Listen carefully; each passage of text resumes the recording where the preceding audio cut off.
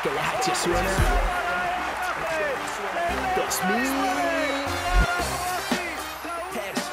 Buenos días a todos. Eh, bueno, ha sido una semana, la verdad es que de inicio muy alegre y de transcurso, bueno, un poquito complicada. Un poquito complicada, con muchos problemas eh, de lesiones, muchos problemas para, para poder plantear bien un partido tan difícil como el de, como el de Palencia pero, pero desde luego con, con el ánimo, el ánimo muy, muy alto y, y, muy contentos por la situación que estamos viviendo ahora mismo en el, en el equipo. ¿no? Eh, nos enfrentamos a, junto con Mallorca y, y seguramente Lugo, para nosotros las, una de las tres mejores plantillas de la liga, eh, jugadores de primerísimo nivel eh, con un núcleo importante de, de, de jugadores muy referentes eh, en sus respectivos clubes en otros años. Y bueno, pero con la misma eh, ambición y las mismas ganas de competir que, que, hemos afrontado todos los partidos de liga, ¿no? Eh, Palencia es un equipo que destaca evidentemente por, por su dirección, como un jugador eh, archiconocido por todos nosotros y de un nivel altísimo como, como Dani, Dani Rodríguez y, y, con el MVP de la liga, ¿no? como es eh, Kevin Larsen. Eh, pero a partir de ahí todo lo que tienen eh, son jugadores de, de primer nivel, ¿no? un equipo hecho claramente para, para ascender, un equipo con, con, y un club que está trabajando muy muy bien en los últimos años, con, con una ambición clara de, de conseguir ese, ese, ese ascenso. Y, y, bueno, nosotros iremos allí a competir para ganar, a, a competir al máximo con nuestras armas e intentar eh, seguir con, con, con, esta, con esta dinámica del equipo. ¿no? Eh, ese es el objetivo, ir a Palencia a competir como lo hemos hecho en, en el resto de, de, de, partidos de la liga. Bueno, yo, creo que, yo creo que es la sensación. Ayer Oviedo gana en Lleida con cuatro jugadores profesionales de la primera plantilla y tres jugadores, bueno, cinco y dos jugadores eh, de equipo de EVA, vinculado y tal y ganó en Lleida. Mm, sí, Lleida está en más dinámica, pero tiene 12 jugadores profesionales. Eh, yo le pongo mucho valor a la victoria con Oviedo, pero sí que es verdad que no fue muy vistosa, que por momentos pareció que el equipo iba con el freno de mano echado, pero no fue así, fue así, fue, no fue así porque fue muy difícil, eh, ya lo comenté, el planteamiento de, de, de Oviedo ante las circunstancias que tiene es muy acertado y nosotros aún así supimos solventar un partido en el que al final ganamos bien. Esta semana allí le ha costado una derrota y por eso le pongo mucho valor, ¿no? más allá al juego. Pero lo que sí que les he dicho es que nosotros no somos jugadores de Euroliga ni entrenadores de Euroliga. Somos el Cáceres y tenemos que luchar y, y trabajar al máximo al 200% cada día. No podemos llegar al, jueves en este caso y trabajar al 200%. Tenemos que trabajar al 200% el domingo, el lunes, el martes, el miércoles y el jueves por la mañana y, por ahí ha ido, por ahí ha ido el, planteamiento de motivación o psicológico esta semana.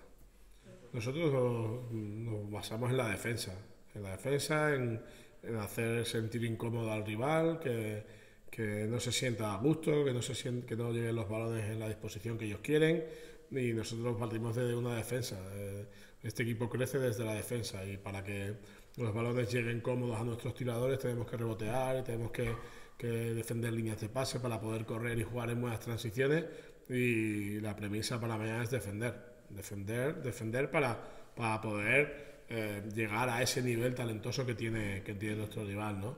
Eh, a partir de ahí el equipo y, y a defender y, y, a darlo todo, como siempre. Ricardo no ha entrenado toda la semana, mm, estamos realmente preocupados por él, eh, pero hoy lo ha intentado, pero ha sido imposible y, pero es que no, no, no, os informo que no lloro, ni me quejo, ni me lamento, eh, pero eh, estará Zubi y, y, Ferran al 200%. Eso, de eso sí que estoy seguro. Si está Richie, fantástico, y si no está, mmm, le echaremos de menos porque queremos que todos estén. Pero eh, sus compañeros estoy seguro que darán un paso al frente.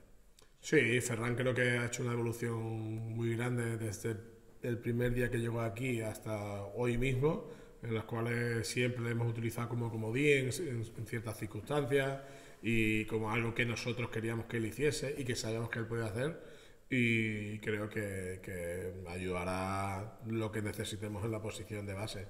Es un, es un chico que, que, es todo trabajo y, y, bueno, y perfilaremos bien lo que queremos jugar con él y, y ya está. Eso es lo que, ese es el plan. La forma de jugar no.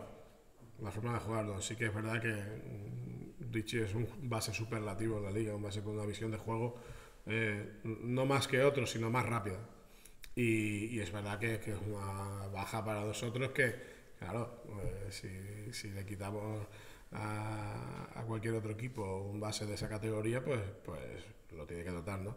Pero el planteamiento va a ser el mismo. El planteamiento va a ser el mismo. Eh, trataremos de, de, de, que Zubi y Ferran se puedan ayudar todo lo que puedan eh, y de combinar esa, esa, esa pareja. Y, y, bueno, pero vamos, que yo no descarto a Richie para mañana. Eh, él, él, está loco por jugar, o sea que. Pero bueno, sí que es verdad que hemos tenido ahí ciertos problemillas con jugadores. Eh, será un punto de inflexión para conseguir la octava. no, tenemos un bonito recuerdo ¿no? de Palencia. En Palencia llegamos el año pasado con una situación muy difícil, muy complicada, y veníamos de, de pasarlo mal de pasarlo muy mal en el aspecto anímico, anímico y 40 mm, valientes nos levantaron el ánimo allí eh, durante 40 minutos, ¿no? Eh, evidentemente es un bonito recuerdo, bonito recuerdo, pero ah, somos equipos completamente distintos, llegamos en dinámicas completamente distintas y sí, eh, cuando he estado haciendo, viendo los partidos, hemos estado viendo los partidos esta semana y ves ese pabellón precioso con 5.000 espectadores y pues la verdad es que sí, hombre, te, te, te recuerda un poquito aquella, aquella victoria tan importante, ¿no? Pero nada, es, el, el, jueves es buscar la octava. Y si no la encontramos, buscar que el equipo siga en la dinámica de, de competición que está llevando. Sí, Raco apenas ha entrenado. Sufrió un golpe en el talón de entrenamiento y apenas ha entrenado. Hoy, hoy sí ha participado, pero apenas ha entrenado. Eh, Hemos tenido problemas con, con, lesiones también en el, en el, EVA, hemos tenido problemas con, con, Junior y al final, gracias a la estructura maravillosa que tiene este club, porque tiene una estructura que, la verdad es que la valoramos poco muchas veces, eh, hemos conseguido mantener eh, un, unos entrenamientos con, con, un número acorde con lo que es un equipo profesional. Pero de verdad que no... Que, que, no lloro, que, que, no pasa nada, que si estamos seis, estamos seis, y si estamos siete, siete, y si solo tengo que salir a jugar, pues tendremos un problema. no, no, muy bien, muy bien. Eh, él dice que ya se ven los pies, entonces tiene más mérito que haya metido alguno estos dos días, ¿no? Eh, bueno, se ha estado adaptándose porque ha llegado hoy, todas las mañanas adaptándose, no es la definitiva, pero sí que es una muy parecida y, bueno, pues sigo teniendo la misma preocupación por esa nariz que el primer día, pero es verdad que Luis ya eh, da pasos al frente en cuanto a contactos y demás, que antes lo hacía, pero, pero le costaba un poquito más. Pero bueno, eh, contaré, contaré con él como en estos dos últimos partidos. Siendo de un equipo de victorias y derrotas, pero nunca de vencidos. Suena, suena el infierno verde y negro. Si entrenas, da igual lo que haga el resto. Y si algo queda claro en todo esto, es que Cáceres quiere baloncesto. Vertinegros unidos son Cáceres.